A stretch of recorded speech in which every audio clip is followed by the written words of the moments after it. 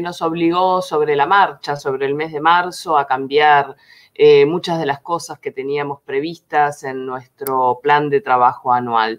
Y creo que lo más importante de destacar es que Claxo eh, tomó una decisión, una decisión política de, en el marco de la pandemia, aumentar su presencia, aumentar eh, su espacio de articulación y convertirse en, en, lo que es hoy, ¿verdad? La principal red justamente de articulación de las ciencias sociales y las humanidades el campo de la investigación, de la formación, de la difusión, de la comunicación eh, en el campo, en definitiva, que Claxo trabaja. Y una de las primeras, eh, bueno, decisiones que tomamos allí por mediados o fines de marzo fue eh, la creación del observatorio Pensar la Pandemia, donde básicamente lo que queríamos era mostrar las dimensiones sociales de la pandemia y además de las dimensiones sociales, la, la contribución que las ciencias sociales y las humanidades pueden hacer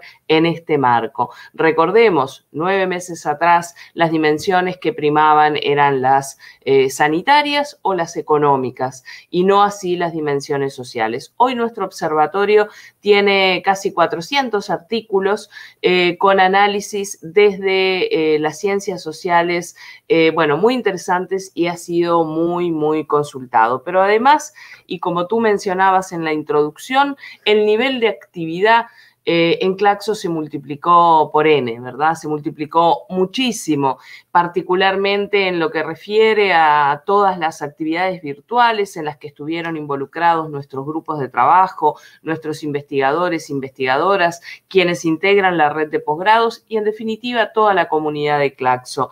Eh, tuvimos en estos nueve meses, desde marzo hasta aquí, eh, más de 500 actividades, actividades de seminarios o como le dicen ahora, eh, clases, clases magistrales abiertas, presentaciones de libros, en fin, todas las actividades a las que Claxo está acostumbrado. Y en ellas globalmente participaron más de 50.000 personas, ¿verdad? Más de 50 mil participantes. Realmente estos números eh, nos muestran el impacto que, tiene el trabajo de Claxo en este contexto. No nos olvidemos, perdón, sí. No, simplemente, Karina, en, ese camino, porque tú, tú hablas de 50.000 personas eh, que participaron de actividades abiertas. Digo, y ahí uno no puede dejar de pensar eh, en un momento en el cual la situación fue compleja en todos los sentidos, la política de acceso abierto se, agrandó, creció, se sobredimensionó positivamente, ¿no? Digo, porque ahí están las clases abiertas, digo, conversatorios para pensar la realidad que nos tocaba vivir. Digo, entiendo que ahí también hay una punta relacionada con el acceso abierto. Absolutamente. En, lo que refiere al acceso abierto específicamente, bueno, no solo se aumentaron eh, las colecciones disponibles, me refiero a libros, eh, colecciones editoriales eh, de Claxo, sino que pensemos en un solo dato, ¿verdad? En lo que refiere a las descargas desde nuestra biblioteca, tuvimos en todo el año 30 millones de descargas a ver, se dice muy rápido, pero pensemos lo que eso implica realmente. Y en otra beta de lo que es el trabajo de Claxo hoy, eh, en, lo que refiere a la formación, ¿sí?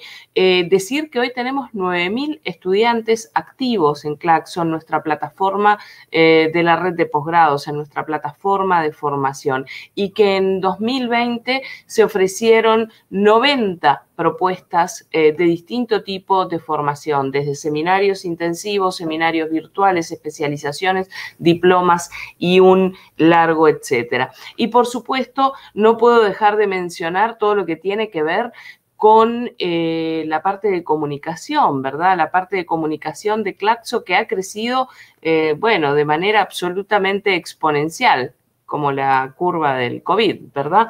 Eh, en términos de, las producciones, ¿verdad? De las producciones disponibles en Claxo TV, más de 400 en el año, este propio espacio, InfoClaxo, que va por su número 25 y que se ha convertido en el lugar para dar la voz a quienes integramos nuestro Consejo Latinoamericano, investigadores, profesoras, eh, participantes de distintas actividades que miércoles a miércoles han estado eh, por aquí.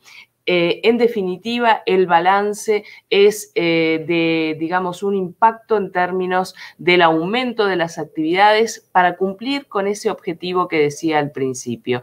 En el marco de esta situación crítica para el mundo, Claxo decidió convertirse en el espacio de articulación de la enseñanza, de la investigación, de la formación, de la difusión en ciencias sociales de referencia en la región latinoamericana y en el mundo. Y creo que en esa senda estamos. Y por supuesto que eh, como hay que buscar las externalidades positivas a toda esta situación compleja del mundo, hemos aprendido mucho del trabajo virtual y de la posibilidad Claxo siempre trabajó mucho virtualmente, pero la obligación de hacer solo virtual nos, eh, nos enseñó muchas cosas. Muchas cosas que las vamos a estar aplicando en 2021, donde también deseamos, por supuesto, profundamente retomar la presencialidad y poder volver a encontrarnos cara a cara que tanta falta eh, nos hace a todos y todas. Y muy especialmente encontrarnos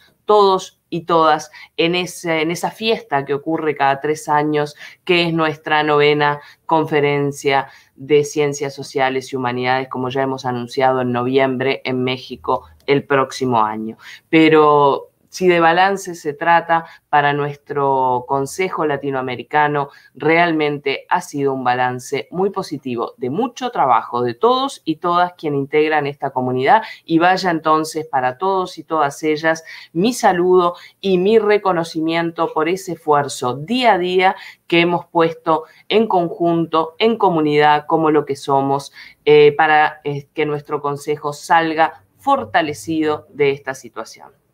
Eh, Karina, no, quería casi como, como, eh, como mimo relacionado con, este año, porque la verdad que hay comentarios eh, muy lindos. uno de ellos de Claudia Miranda, felicitaciones a Karina por su liderazgo. Como grupo de trabajo hemos podido avanzar como red por la importante gestión de un equipo que sigue alineado con las demandas pluridiversas. Este, y me parece que, bueno, es, muy lindo. Hay, la verdad que hay más mensajes, mensajes muy interesantes y que realmente eh, vieron, me parece, el crecimiento y la potencia de todo esto. Eh, pensaba en ese camino, vos nombraste algo del, 2021, si tuvieses que visualizar un poco hacia el futuro, sé que es complicado, sé que es complejo, pero hay, un, hay, una cita concreta que es la conferencia. Entiendo que a partir de eso ya se desarrolla una cantidad de cuestiones a programar, a pensar hacia el 2021.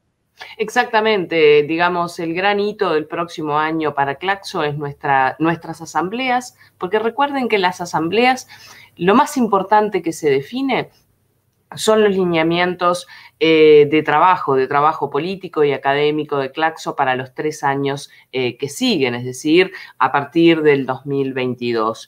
Y, y, esas asambleas van a tener lugar también en noviembre en Ciudad de México. Y por supuesto, nuestra conferencia, que como decía hoy, es una fiesta, ¿verdad? Es una fiesta de encuentro de quienes hacemos ciencias sociales y humanidades en, eh, en el mundo y particularmente en América Latina y el Caribe para poder allí eh, intercambiar, discutir, presentar eh, nuestro trabajo, pero lo más importante, para seguir densificando eh, la trama de nuestra red Claxo en esos encuentros, ¿verdad? Donde podemos vernos, podemos escucharnos eh, y podemos compartir. Deseamos profundamente poder eh, llegar a noviembre con una conferencia presencial, pero también quiero dejar a todos y todas tranquilas que si eso no es posible, estamos ya manejando las alternativas, las alternativas justamente de la virtualidad para que eh, en un escenario o en otro o en algún otro que pueda aparecer, porque estamos ya demasiado acostumbrados a los cambios, eh, vamos a tener nuestras asambleas y nuestra conferencia. Es el evento del 2021 más importante para Claxo y eso implica a lo largo del año, desde ya, desde dentro de una semana, eh, una serie de eventos preparatorios, de discusiones, de seminarios, de presentaciones en torno a los ejes temáticos que hemos definido. Recuerden, nuestra conferencia se da cita bajo el lema Las tramas de las desigualdades, eh, saberes, luchas y transformaciones. Ese va a ser eh, el tema que nos va a estar convocando en México en noviembre.